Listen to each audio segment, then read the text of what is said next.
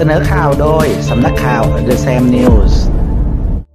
จนถึงทุกวันนี้การส่งเทคโนโลยีใหม่ๆ ขึ้นไปสำรวจดาวศุกร์ก็ยังไม่ใช่เรื่องง่ายนะคะ เพราะว่าดาวศุกร์นั้นเป็นดาวที่มีอุณหภูมิร้อนระอุ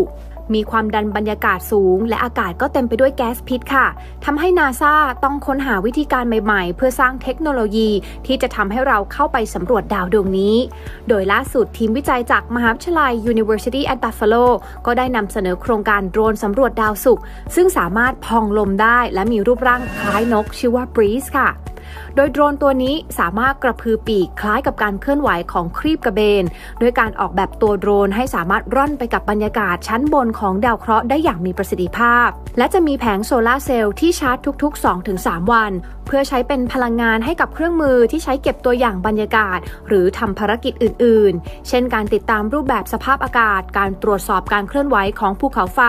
และรวบรวมข้อมูลอื่น ๆ ค่ะ โดยทั้งหมดนี้ทีมวิจัยได้นำเสนอผ่านโครงการที่มีชื่อว่า NASA Innovative Advanced Concept ซึ่งเป็นโปรแกรมของ NASA ที่จะมาสนับสนุนการสร้างและพัฒนานวัตกรรมใหม่ๆ เพื่อสนับสนุนการบินและภารกิจสำรวจอวกาศในอนาคตค่ะซึ่งการสำรวจของโปรแกรมนี้จะแบ่งออกเป็น 2 เฟสด้วยกันนะคะ ก็คือทีมที่ผ่านการคัดเลือกในเฟสแรก จะได้รับเงินทุนสนับสนุนประมาณ